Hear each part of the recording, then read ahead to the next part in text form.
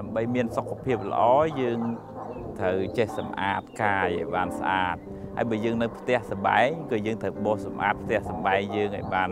ស្អាតដែរទើបវាមានសេរីសួស្តីយ៉ាងជីវិតរបស់យើងចិត្តរបស់យើងក៏ត្រូវការសម្អាតដែរទើបចិត្តហ្នឹងវាមានសេរីសួស្តីអញ្ចឹងវិធីសាស្ត្រសម្អាតចិត្តហ្នឹងវាមានច្រើនរបៀបអឺតាំងពីតិចរហូតដល់ច្រើនទៅតាំងពី ដេញកំចាត់អាភាពកំណាញ់តាមរយៈការចេះជួយសង្គ្រោះការតាមរយៈការផ្ដល់សេចក្តីស្រឡាញ់ដល់អ្នកដតីហ្នឹងមានរបស់របរអីអាចចែករំលែកឲ្យអ្នកដតីបានសុខដោយសារយើងក៏យើងជួយចែករំលែកទៅពីព្រោះអាកំណាញ់ហ្នឹងជាមេរោគជាគ្រឿងសៅមងជាសម្រាមនៅក្នុងចិត្ត ហើយតាមរយៈការរក្សាសិលរក្សាសិលហ្នឹងគឺថាការចម្រើន នៅមេត្តាផ្ដល់សេចក្តីសុខដល់អ្នកដតីមិនសម្លាប់មិនបៀតបៀនមិនលួចមិនឆក់មិនប្លន់មិន លួចកូនប្រពន្ធអ្នកដតីមិនកុហកបោកប្រាស់អ្នកដតីទេគឺថាចិត្តនឹងព្យាយាមយើងនឹងព្យាយាមសម្អាតចិត្តនឹងតាមរយៈការផ្ដល់សេចក្តីស្រឡាញ់ឃើញអ្នកដតីនឹងចង់យើងក៏ចង់បានសុខគេក៏ចង់បានសុខគេក៏ចង់ថែរក្សាទ្រព្យសម្បត្តិគេយើងក៏ចង់ថែរក្សាទ្រព្យសម្បត្តិយើងគេស្រឡាញ់ប្រពន្ធកូនគេយើងក៏ស្រឡាញ់ប្រពន្ធកូនយើងអញ្ចឹងយើងអត់ធ្វើអំពើអីអាក្រក់បៀតបៀនអ្នកអ្នកដតីទេយើងប្រៀបធៀប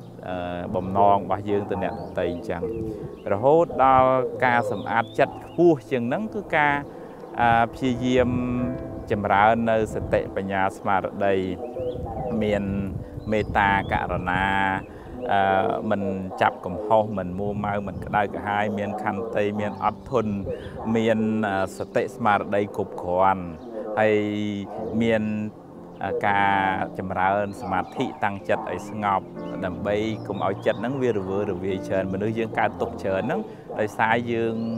រវើរវាយច្រើនពេកគិតតែប្រេះតែប្រដាស់គិតរឿងចំណែនគេស្អប់គេគិតរឿងនេះរឿងនោះគិតស្ដាយក្រោយគិតរឿងបារម្ភពេករឿងដែលមិនទាន់មកដល់អញ្ចឹងចិត្តនឹងវាស្មុគស្មាញច្រើនអញ្ចឹងដើម្បីឲ្យចិត្តនឹងបានស្ងប់ដើម្បីយើងបោសសម្អាតអាសម្រាមនៅក្នុងចិត្តនឹងតើយើងចេះ ធ្វើសមាធិ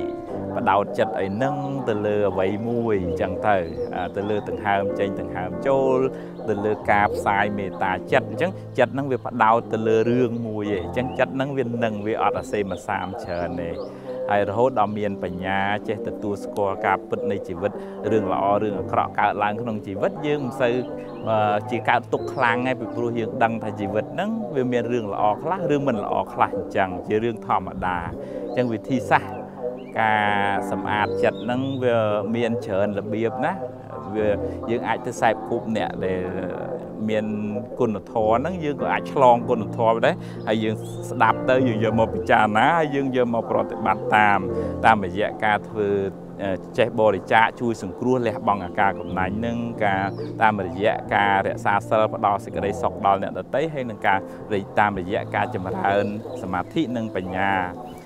ដែលដេញសារជាតិអក្រក់អក្រក់ជាតិពុលពីក្នុងចិត្តទៅយើងបានសេចក្តីសុខច្រើនណាស់អរគុណច្រើន